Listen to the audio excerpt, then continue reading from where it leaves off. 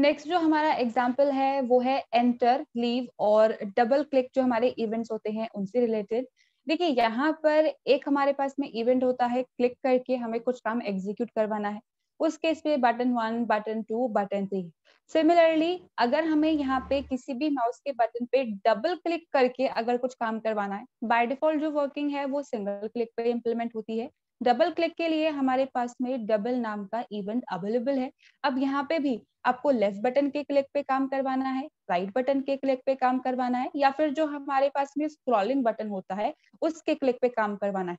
तो यहाँ पे भी सिंपल बटन इवेंट की तरह डबल के साथ में भी हम हाइफन वन हाइफन टू और हाइफन थ्री को काम में ले सकते हैं which stand for left click पे डबल लेफ़्ट जो बटन है, उस पर डबल क्लिक जो स्क्रॉलिंग वाला बटन है, उस पर डबल क्लिक और जो हमारे पास में राइट बटन है, उस पर डबल क्लिक ये है हमारे पास में डबल इवेंट अब जो यहाँ पे हमारे पास में दो इवेंट्स है that is enter and leave अब देखिए, यहाँ पे हमने एक इवेंट पहले कवर किया था that is focus in and focus out focus in focus out का सिंपली मतलब क्या होता है? करंटली टेक्स्ट बॉक्स पे हमने कर्सर को प्लेस कर रखा है। वो करंटली एक एक्टिव एलिमेंट है, ठीक है? वहाँ पे हम कुछ टाइप करने वाले हैं।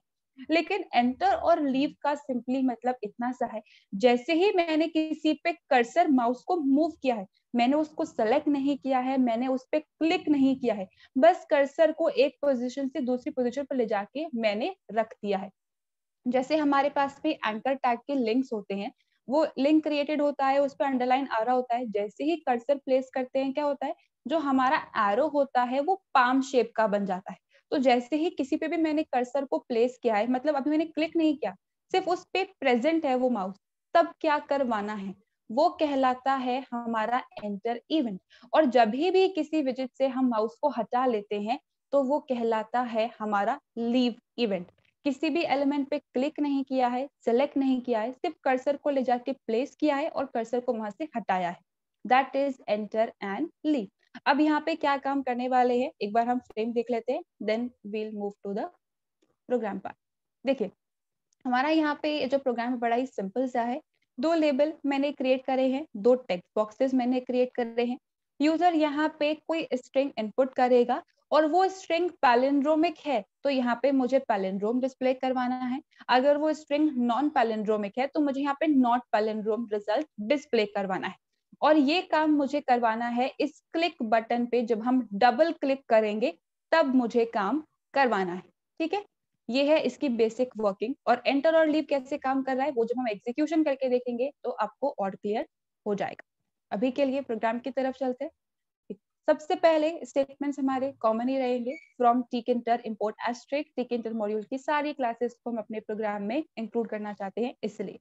फॉलोड बाय रूट विंडो का creation root is equals to T K अब यहाँ पे रूट विंडो का टाइटल मुझे सेट करना है तो मैंने एंटर लीव और डबल को पाइप सिंबल से सेपरेट करके स्ट्रिंग के फॉर्म में हम किसी भी तरीके का टाइटल मेंशन कर सकते हैं। तीन इवेंट का हमारा एग्ज़ाम्पल है तो मैंने इसलिए तीनों का name as a title set कर दिया है। फॉलोड बाय फ्रेम का creation F is equals to frame जिसे मुझे रूट पे प्लेस करना है।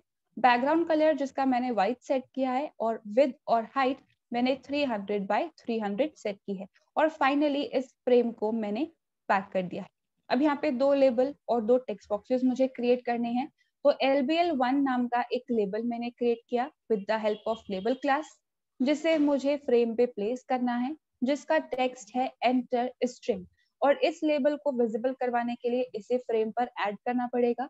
तो L B L one dot place x is equals to 20 and y is equals to 50 तो 20 comma 50 लोकेशन पर ये enter string label हमें visible हो जाएगा followed by text box का creation txt1 is equals to string where क्योंकि यहाँ पे हमें एक जो फ़र्स्ट वाला टेक्स्ट बॉक्स है उसके डेटा को फेच करना है और फिर चेक करना है कि वो पैलेंड्रोम है या नहीं तो मुझे उसके अंदर के डेटा को एक्सेस करना पड़ेगा। तो उसके लिए यहाँ पे हम वेरिएबल क्लासेस के ऑब्जेक्ट बनाते हैं। अब क्योंकि टेक्स्ट बॉक्स है और स्ट्रिंग को हम चेक कर रहे हैं तो मैंने स्ट्रिंग वेर टाइप का ऑब्जेक्ट बनाया है टी वन नाम का, जो यहाँ पे टेक्स्ट बॉक्स की वैल्यूज़ को कंटिन्यूसली मॉनिटर करने का काम करेगा।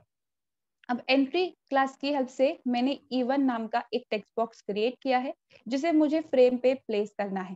और इससे कौन सा वेरिएबल कंट्रोल करने वाला है? किसमें वैल्यू जाने वाली है? That is text variable is equals to T X T one जो कि हमने अभी यहाँ पे क्रिएट किया। Followed by e1 dot place x is equals to hundred and y is equals to fifty तो हंड्रेड कमा फिफ्टी पर ये टेक्स्ट बॉक्स हमें विजिबल हो जाएगा। फिर से एक और लेबल क्रिएट करना है रिज़ल्ट के लिए।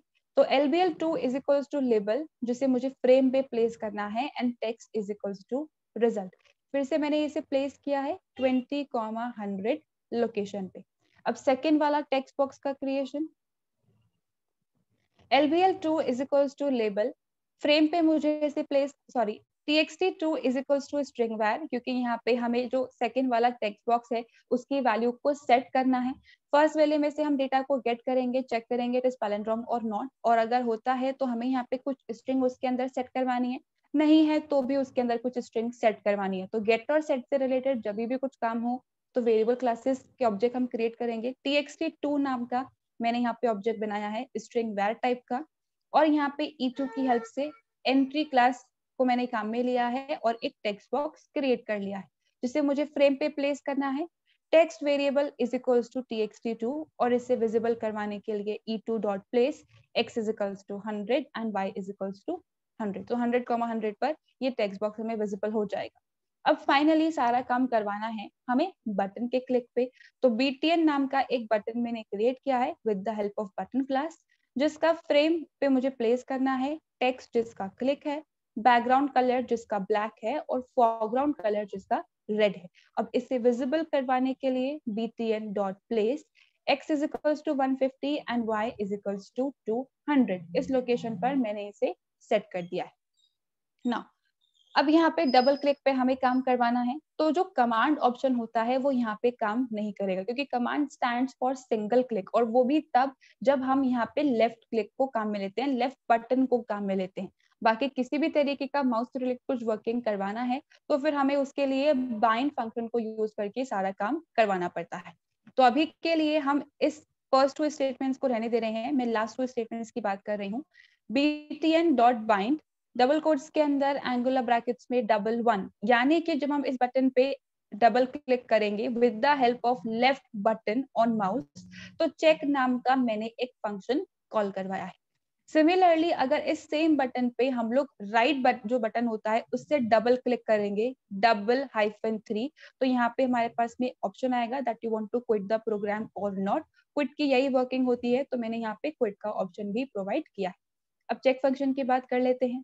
क्योंकि बाइंड की हेल्प से काम हो रहा है तो इंटरनली इवेंट ऑब्जेक्ट पास होगा तो डेफ चेक और इवेंट अब करना क्या है? मुझे यहाँ पे चेक करना है कि जो स्ट्रिंग इनपुट की गई है इट इज़ पैलेंड्रोम और नॉट तो यूजुअली क्या करते हैं? एक वेरिएबल के अंदर तो हमारी ओरिजिनल वैल्यू रहती है और एक को हम रिवर्स कर लेते हैं। अगर ओरिजिनल और रिवर्स जो है वो हमारे पास में बराबर होता है दैट इज़ अ पैलेंड्रोम लेकिन यहाँ पे लूप चला के one by one character fetch करने की ज़रूरत नहीं है, क्योंकि हमारे पास में ऑलरेडी स्लाइसिंग ऑपरेटर अवेलेबल है, जिससे एक स्टेटमेंट में ही हमारा जो रिवर्स वाला पार्ट है, वो काम कर जाएगा। तो सबसे पहले तो फ़र्स्ट वाले टेक्स्ट बॉक्स की वैल्यू को गेट करना है। तो if T one dot get यानी कि जो भी डेटा इनपुट किया गया है, वो इधर आके सब्सिट्यूट हो जाएगा।